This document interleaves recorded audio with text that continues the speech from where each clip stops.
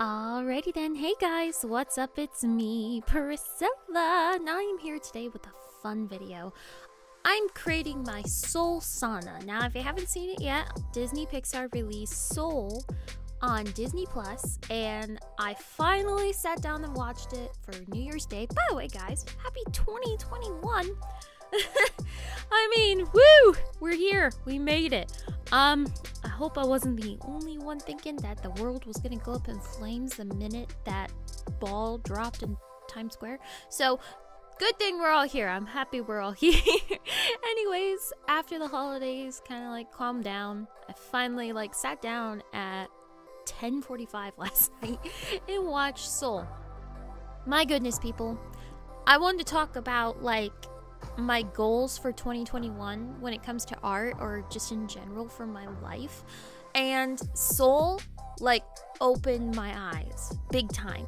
Big time, guys. I mean, I do not think that Soul was created for children. Don't think it. I mean, kids could watch it and go, ooh, cute, pretty, oh, colors, you know, but I honestly think that this movie was created for adults to wake up and smell the roses and just enjoy life a little bit more and remember what made life worth living. And, you know, I was thinking about that a ton and I was just like, geez, oh, Pete's. This movie is deep. It was a beautiful story, but my goodness, the deep inspirational quotes throughout that whole movie. It makes you think. And I mean, if you are 50, if you are 90, if you're 16, if you're 13, this movie should be like, whoa, what am I doing with my life? but no, I love this movie. Anyways, I just wanted to talk about like what really inspired me was the lost soul scene when he said, you know, these are souls that are completely lost because they're not dead. They just they forgot the meaning. They're so passionate about something that they forgot about what joy it brought to their lives. So now they're doing it over and over and over and they're just living, but it's not bringing them joy. And so they just they get consumed and lost. And I was like, that speaks to me right there. I really spoke to me because, you know, I have the inkling that I'm being shadow banned on a lot of social medias, and I don't really know why. I don't know why. But I just have a feeling that I'm being shadow banned on here, YouTube, and I feel like I was shadow banned on Instagram. And thank God, TikTok's kind of like pulling through for me, and I'm getting a little bit of views and stuff. But it's just like, it's just like my my stuff is just climbing downwards, and it just has me thinking about how I need to reorganize my art. And you know, I even thought about like focusing more on my Etsy shop, creating more original art, and creating more original characters because you know, I was creating tons and tons of original characters in throughout all years, way before social media, and even at the beginning of Instagram, if you scroll all the way to the bottom of my Instagram, there are still tons of original characters out there. And that was what kept me going was all these original characters. And you know, I had to leave like one of my dream colleges back in like 2012 and 2011 2012 i had to leave my dream college and i had to move back home and go to like a community college first and then a and then another university. And if you've stuck with me that long, you know that it just kind of crushed my soul because talk about shadow banned. I was flat out banned from that department that I wanted to be in. I wanted to be a backstage, you know, set designer for theater, and the head of the department just told me, "No, I don't want you in my program anymore." And it's just, it just breaks my heart. And I didn't even do anything wrong. She just wanted to call the shots for me and said that I was more of an artist than I was a theater designer. And I was like, that's just crap because aren't the two going in hand in hand? And I mean, theater has always been a passion of mine. Why can't I be a theater designer and an artist? I mean, that's what you do.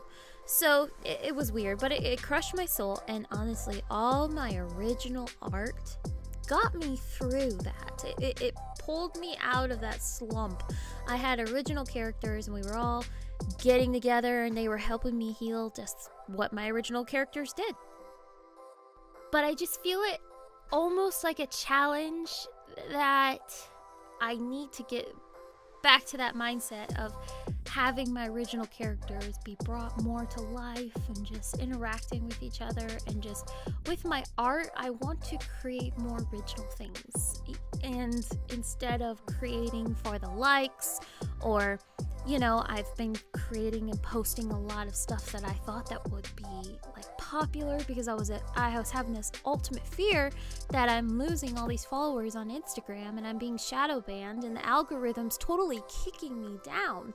And that the same thing's happening on YouTube and I was just like goodness I you know I just need to create what I need to create. So that's why I want to talk about my plans for my art like path for 2021.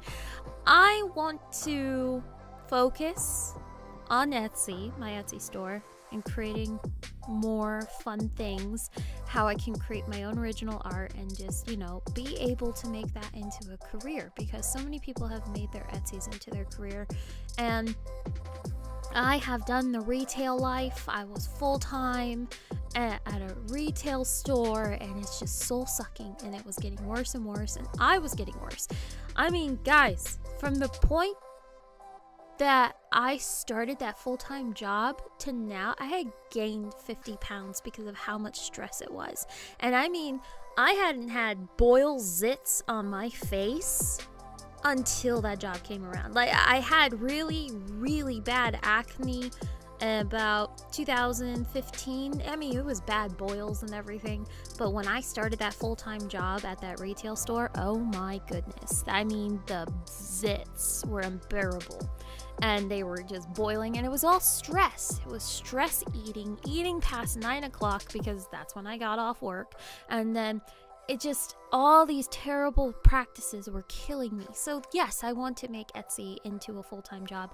Um if I can, God willing, 2021 gives me that. I I don't know, but um anyways, I want that to happen and I want to focus on that and I want to focus getting back to more of my own original art and you know, inspired things instead of just copying stuff over and over again. I just really want to get back into original stuff. I was also thinking of opening up a Patreon and just having people kind of, you know, come along on this journey with me. I'm still trying to figure out what to do exactly. I already support a couple of artists on Patreon and I follow them and they they inspire me. It's like a it's like a blog fan page and we're all here, we're all supporting each other and we all love these artists and that's what I kind of want to head in that direction too. So that and I was just thinking about possibly posting YouTube videos once a week on here and then using YouTube as a platform. I was thinking of like streaming again on Twitch or on here. Um, haven't made up my mind if I want to stream on here or if I want to stream on Twitch. I have to figure out the rules and stuff on that. But I wanted to do more streaming and doing more real time art videos where I sit down with you guys and we all draw together and we all talk together, which would be really nice. But yeah, there we go. I'm all in, I'm all psychological and inspirational and just but I would love to know some of your 2021 goals. I know that we all just kind of have to like slowly approach 2021 with some caution. I know I'm like that already. I'm just after 2020, I'm just like, you know how you like you see a bunch of mouse traps out in a, a, valley and you just look at them and you're like i'm just gonna tiptoe around these and hope for the best that nothing jumps up and bites me in the butt. Because that was 2020 so I, I feel like i'm cautiously approaching 2021 i'm having these awesome ideas or thoughts of how to improve on my life so that's the approach I'm going with. I'm not setting goals too high. My goals for 2021 is to, you know, create more original art, focus on my Etsy business, consider Patreon and streaming and posting regularly, regularly once a week on here, whether it's a tutorial art art video. Just get back to that that whole entire schedule, just getting into that again. Also, shedding this terrible 2020 50 pounds that I gained. This was not a quarantine 50, this was a 2020 50 pounds that needs to come off my body because I just need to get it off.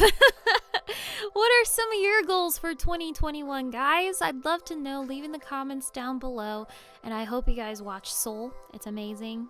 It'll make you woke quotation marks. I'm too old for this. Anyway, I will see you guys later.